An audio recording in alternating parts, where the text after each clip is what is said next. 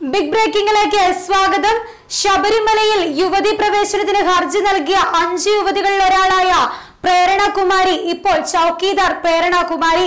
ട്വിറ്ററിലാണ് പ്രേരണകുമാരി തന്റെ പേരിന് മുന്നിൽ ചൌക്കീദാർ എന്ന് ചേർത്തത്. പ്രധാനമന്ത്രിയും കേന്ദ്രമന്ത്രിമാരും ബി ജെ പി നേതാക്കളുമെല്ലാം കഴിഞ്ഞ ദിവസങ്ങളിൽ ട്വിറ്റർ അക്കൗണ്ടിൽ തന്റെ പേരിന് മുന്നിൽ ചൌക്കീദാർ എന്ന് ചേർത്തിരുന്നു. ഇതിനു പിന്നാലെയാണ് പ്രേരണകുമാരിയും ചൌക്കിദാർ എന്ന് ചേർത്തത്.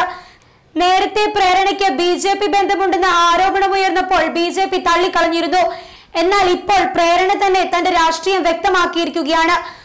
ബി ജെ പി ബന്ധമുള്ളവർ തന്നെയാണ് ശബരിമലയിൽ സ്ത്രീകളെ പ്രവേശിപ്പിക്കണമെന്നാവശ്യപ്പെട്ട് കോടതിയിൽ അപേക്ഷ നൽകിയതെന്ന ആരോപണങ്ങൾ ഉയർന്നു വന്നപ്പോഴെല്ലാം ബി ജെ പി ശക്തമായി എതിർത്തിരുന്നു.